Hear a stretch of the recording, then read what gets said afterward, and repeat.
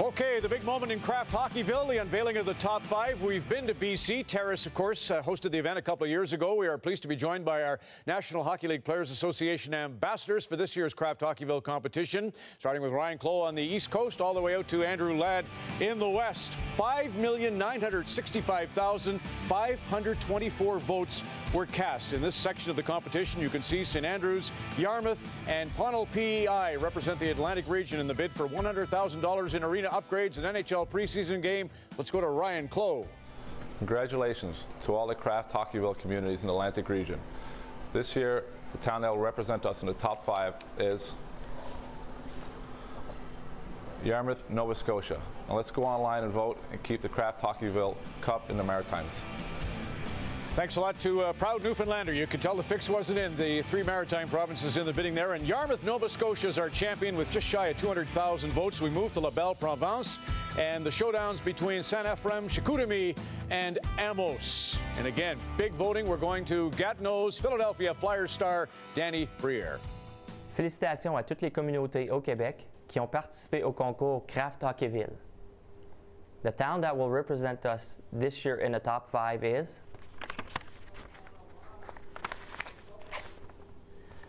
Amos. Good job. Maintenant, allez voter et ramener la Coupe Kraft Hockeyville au Québec. You want to talk about spirit? Look what Amos managed to do. Nearly 700,000 votes. That's in the famous area of Rouyn, Noranda. but Amos represents Quebec in our final five. Over to Ontario we go now. Stirling Rawdon, Bancroft, and Goderich are the three finalists representing the province of Ontario. And for the winner there, let's go now to Oakville's John Tavares. Now, with so many great submissions, it's a shame that only one of these three towns is moving on. But representing Ontario is Stirling Rawdon, Ontario.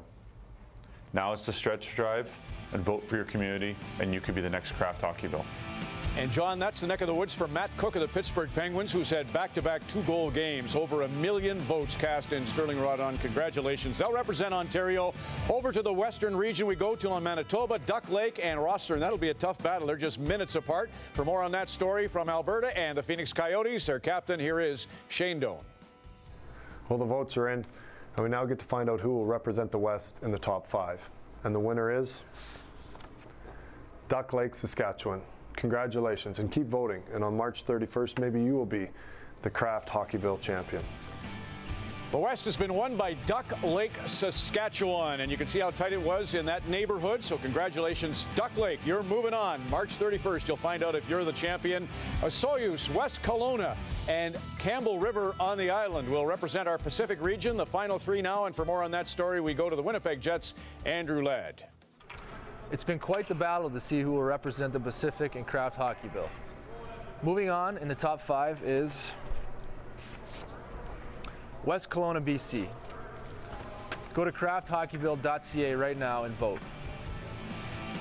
Thanks, Andrew. There's a look at the vote breakdown. Tremendous contributions for West Kelowna. They'll represent the Pacific region. The voting to crown our champion begins in just a few minutes at 11 o'clock Eastern.